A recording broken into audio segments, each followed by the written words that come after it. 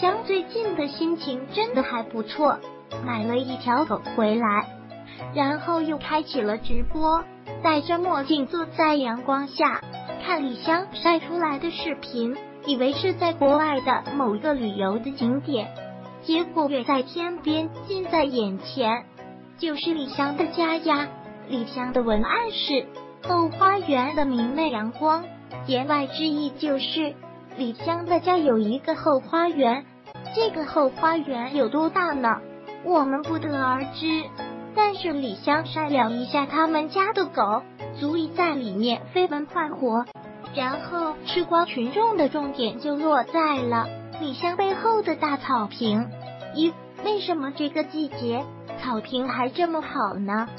李湘也没害怕的，耐心的给吃瓜群众解释，是因为自己家的草坪用了特殊的肥料，可以延迟绿的时间。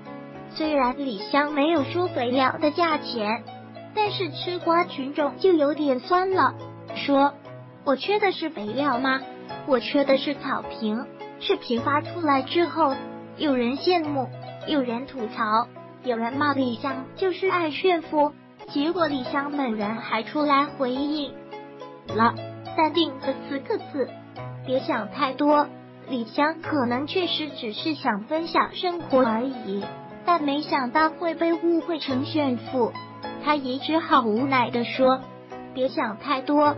李湘之前也晒过自家的花园，可能是想表达乱，但也是有人说他炫富，他好像就删除了。我觉得或许吃瓜群众是有点过于敏感了，就像王思聪说的：“我消费的只是和我的身份匹配而已。”李湘有钱，而且也是自己赚的钱，不偷不抢，当然有权利享受。羡慕嫉妒可以，别恨。